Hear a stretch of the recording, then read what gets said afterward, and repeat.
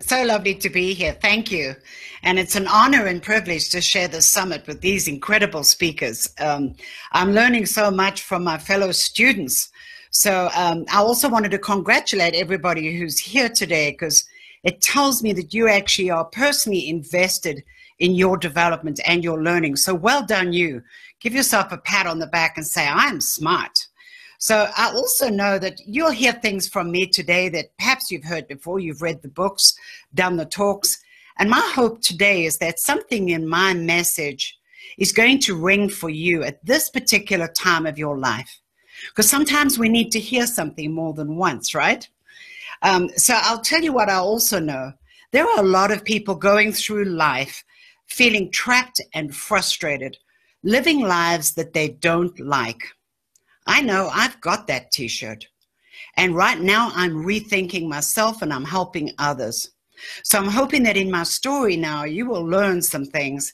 And at the same time, you'll realize why I sometimes avoided my own purpose, even though I originally knew it.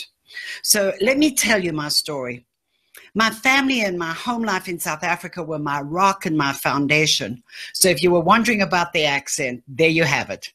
Um, they were my rock and foundation until I was 18 when it all fell apart. My parents' divorce left me adrift. And I immediately found my self worth and identity in my work. I've always had great jobs and great career.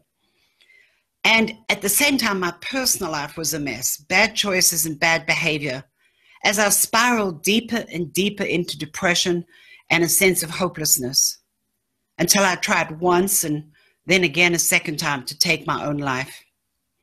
That second time when I woke up in the hospital at age 26 and I realized I was still here, I said out loud, there must be a better way to live.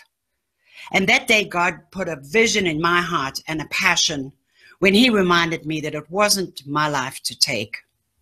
Now, before you think, oh, wow, that's when I started. Oh, no. As soon as I was better and healed, I went right back to my familiar. Isn't that what we always do? We kind of revert back to the ruts, and my known, my familiar, was hard work and play hard and work hard. I uh, changed jobs a few times. I got some great um, increases in jobs. I made a bonus. I bought my first house. I became an unmarried mom to my amazing daughter. And somewhere along there, I got married and then we emigrated. So I kept my life very full and very busy doing everything but what God had called me to do. So, my question to you right now is what has God placed on your heart that you are perhaps avoiding and, and not stepping into? What happens to us when we give up our passion and our purpose? What will not be changed in the world because you didn't choose to live your purpose? And I'm reminded of an inflatable beach ball, you know, the kind that the kids play with in the pool. Think of that ball as your dream and your vision. And as you hold it up, you think, this is my dream. This is my passion. This is what I want to do. And then life comes along and it smacks it out of your hands and said, oh, stop dreaming. Go get a real job. Give up already.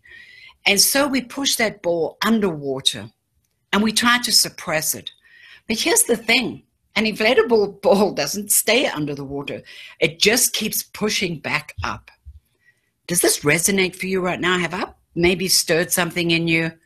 If you feel that you're trying to keep your ball underwater, tell us about it in the comments. I want to hear from you.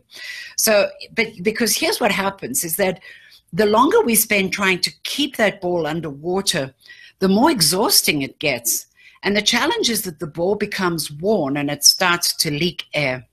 And as it gradually deflates, like this ball, as it gradually deflates, we gradually squeeze ourselves into a smaller and smaller image of ourselves. Because with that deflation leaks our passion, our excitement, everything that we believed about ourselves leaks out with that air. And then what happens is that what I call your default operating system kicks in. And you know what our default operating system is?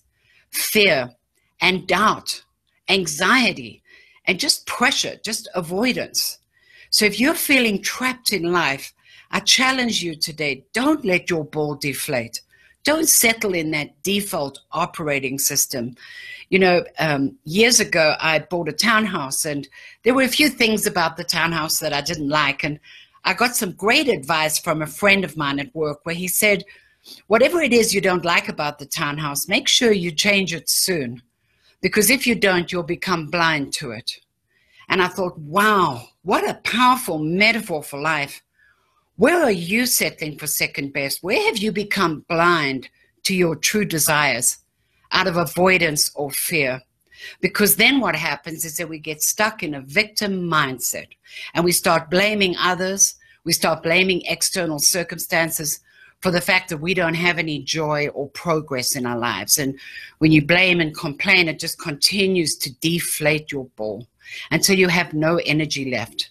But trust me, there is a way to get out of this. So going back to my story, you know, it took, it was 10 years after my suicide attempt before I sat down and wrote a business plan. And by then we were living in Santa Monica. And there's nothing like being an unemployed immigrant and having all my distractions taken away for me to suddenly find my courage. Because we make excuses when we get stuck in that victim mindset. We make excuses, and I'm going to come back to that in a moment. But when I started my business, my first business was actually called DDP Consulting for Divine Design and Purpose. And ever since then, I have helped individuals and leaders and organizations uh, rethink themselves, saying, Rethink you, because your thinking is at the foundation of everything you do. So as I did went through a process of rethinking myself, I followed a process of three R's. So I'm going to give these to you, and as I give them to you, type the words in the comment box so some people who are missing it or multitasking can catch up. So the first R is regroup. Regroup. And this starts with asking, Who am I? Who are you?